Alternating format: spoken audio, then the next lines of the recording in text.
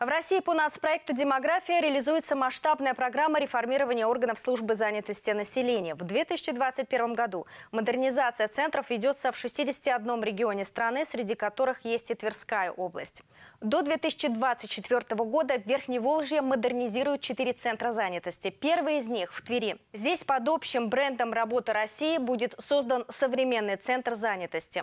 Здание капитально отремонтируют, средства для этого выделяются из федерального и регионального регионального бюджетов. Работы планируют завершить уже к осени этого года. Изменения коснутся не только внешнего оформления, но и методов работы. Теперь в процессе трудоустройства будут учитывать бизнес-ситуацию или индивидуальные жизненные обстоятельства. Напомним, что Центр занятости населения продолжает принимать граждан. На время ремонтных работ зайти в здание можно с обратной стороны, следуя навигационным табличкам.